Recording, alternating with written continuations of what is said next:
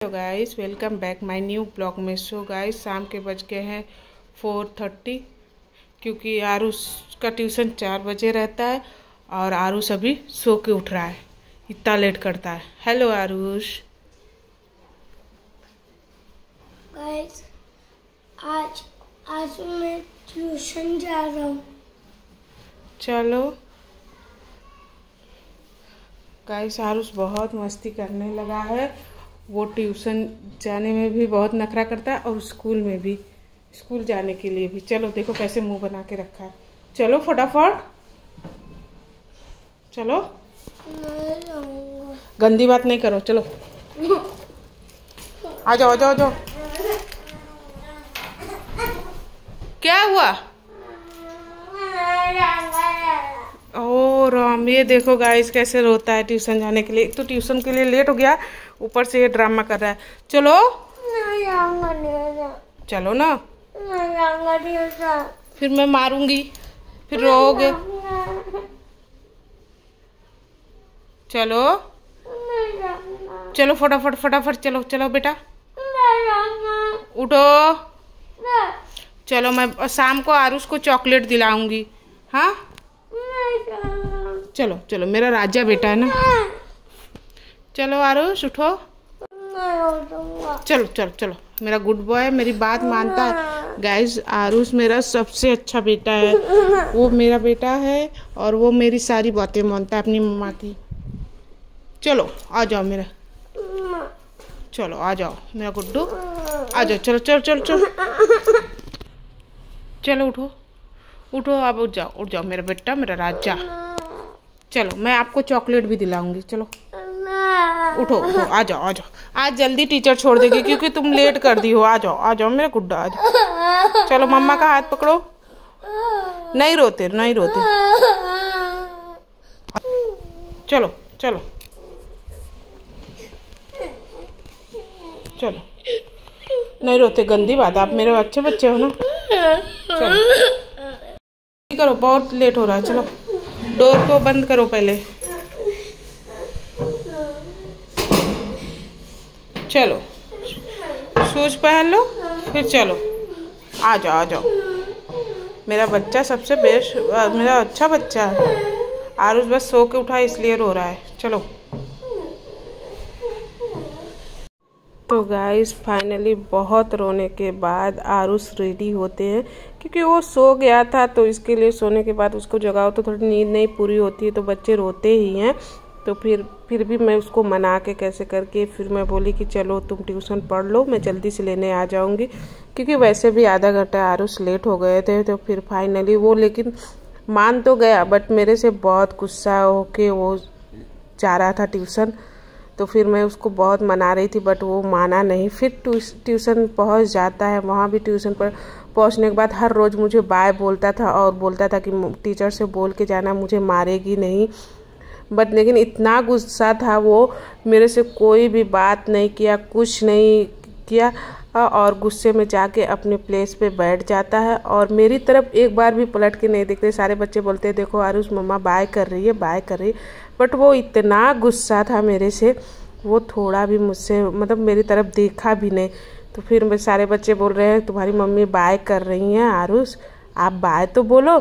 But लेकिन वो मेरे तरफ़ मतलब देख ही नहीं रहा था, इतना गुस्सा हो गया है। और उसकी टीचर अभी आई नहीं अभी मतलब स्कूल, कॉलेज से आती है तो थोड़ा खाना खा रही होगी।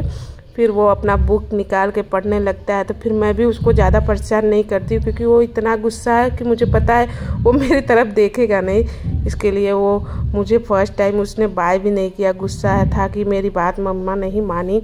वो मुझे भेज दी ट्यूशन के लिए, फिर उसके बाद शाम हो जाती फिर आरुष को मैं ट्यूशन से लेने के लिए चली जाती हूँ, और ये रहा आरुष ट्यूशन से आ रहा। ट्यूशन के आने के बाद उसकी खुशियाँ देखो आप और वो ग्राउंड में कितनी मस्ती करता है, मैं आप लोगों को दिखाती हूँ।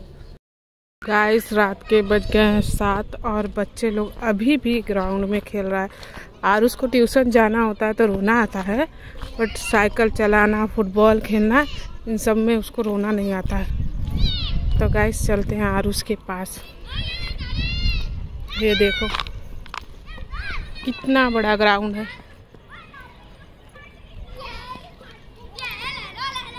देखो।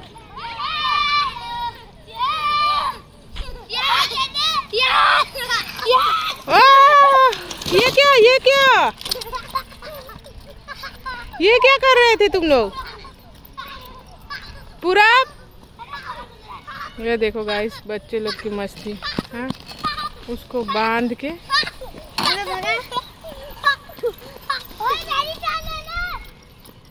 हाँ। बड़ी साइकिल से छोटी साइकिल को बाँध के दोनों भाई की मस्ती देखो।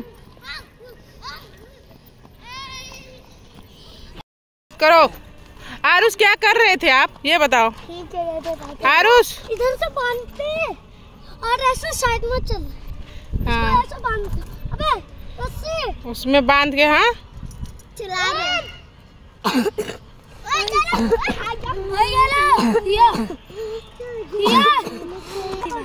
दे दे। ए हिया क्या कर रही है? कुछ नहीं। कुछ तो कर रही है तू। क्या ले रहे हो? एक दूसरे से क्या छीन रहे हो? ये ये देख लो दोनों की मस्ती। एक दूसरे के साथ खेलेंगे भी और एक दूसरे से लड़ते भी रहते हैं। देना यार। दे ना यार। ये अरे ये ले- ऐसे कौन बोलता है? तो गाइस जैसे कि मैं बोल रही हूँ, आप लोगों को रात के सात बज गए हैं, पर बच्चे लोग जा नहीं रहे हैं, अंधेरा हो गया है। अरे ढेर सारे मच्छर भी हैं, चलो। ओ, किसी को लग जाएगी बेबी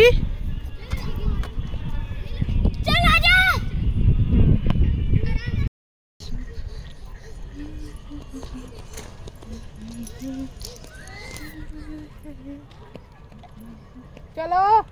जल्दी जल्दी चलो आरुष। पूरा चलो। आ जाओ चलो टाइम हो गया।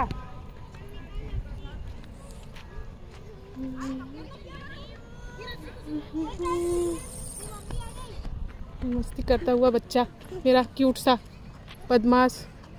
क्या चाहिए Aarush? One rupees one rupees हाँ। आरुष?